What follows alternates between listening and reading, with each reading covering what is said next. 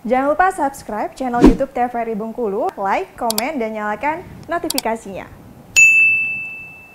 Saudara kurang dari 24 jam, dua orang pelaku pencurian rumah kosong berhasil diamankan tim Opsnal Polsek Muara Bangkahulu. Ya, saudara satu dari kedua pelaku masih di bawah umur.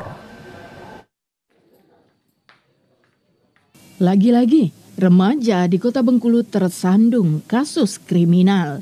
Kali ini remaja berinisial RD berusia 14 tahun diringkus usai melakukan aksi pencurian dengan pemberatan alias membobol rumah kosong milik warga Bentiring Kota Bengkulu bernama Pusaka, seorang pegawai negeri sipil PNS.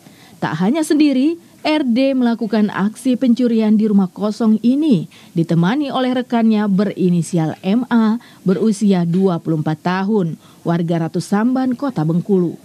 Dari perbuatan keduanya ini, korban mengalami kerugian hingga puluhan juta rupiah.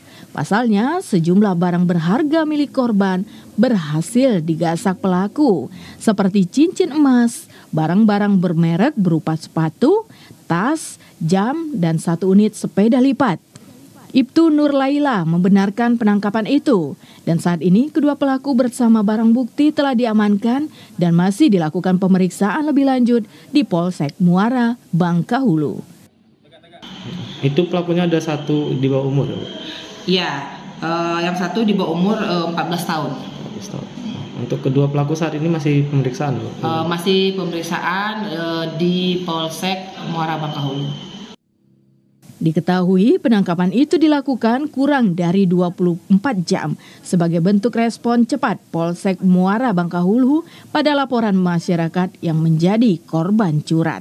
Tim Liputan, TVRI Bengkulu, melaporkan.